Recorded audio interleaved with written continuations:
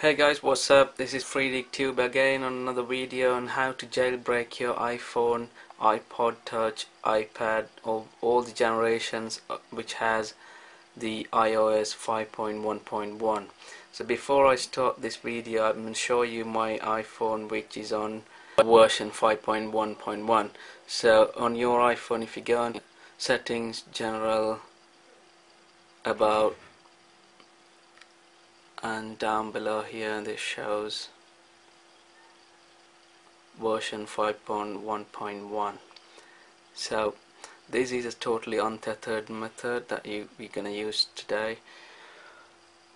Difference between untethered and tethered is basically if you have untethered it, it's like a normal phone. So if you have jailbroken your phone using tethered method. Every time your phone goes off your battery dies you need to plug into a computer for it to start with the jailbroken app. So using non-tethered method is, is the best way to jailbreak your iPhone or iPod touch iPad anything. But this application is called Absinthe. Hope you guys can see this Right, I have the link on the description down below where to download the Absinthe. It's the easiest uh, jailbreaking method in the world I would say. So all you got to do is you need to connect your iPhone to the computer or the laptop that you're gonna run this program uh, Absinthe and before that I would suggest switching off your passcode on the phone so if, if you go into settings general and passcode lock on and then you need to give your passcode. Alright that's it.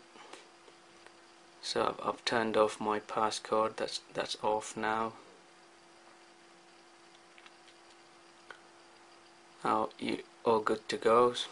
Just make sure that you you've connected your phone via USB cable onto the PC or the laptop you're running this from and also make sure that you've turned off the um, passcode. And also if if you have set up a password for your iTunes backup uh, encrypted and set up a password you, you will have to turn that off as well. Just right click the absinthe program and select run as administrator while your phone is connected. So I'll ask for the authorization. I'll say allow. And that's it. It's it's detected. So it shows in here that iPhone 3GS with iOS 5.1.1 so all you got to do is just click on jailbreak and it's beginning jailbreak. It says this might take a while. So you got to be patient because it's gonna take a while to be honest. Uh, it might take more than 15 minutes. So just be patient. Don't don't unplug or don't switch off or don't do anything until it finishes and loads up the phone. I'm just gonna fast forward there. Now it says sending initial jailbreak data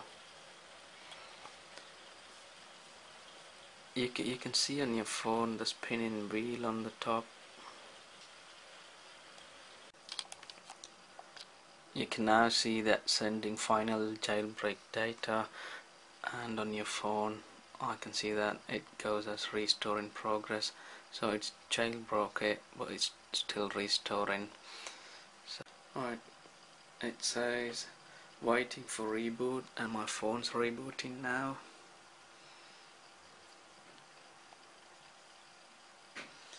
waiting for process to complete and my phone's booting up. Right that's booted up now. It's not completed yet. Right it's done now and it says done enjoy. It's just close the application.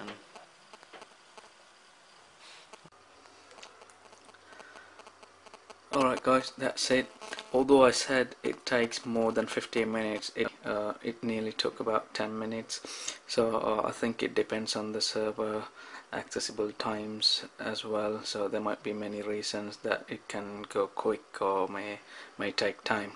So but here's my phone that's that's already jailbroken. I, I can show you the CD Cydia's installed. It shows my phone's phone and the iOS on 5.1.1 on Cydia. So that's it. I hope you enjoyed this guide please like it and comment on the video as well as subscribe to my video uh, channel for more videos. Thanks for watching. Bye for now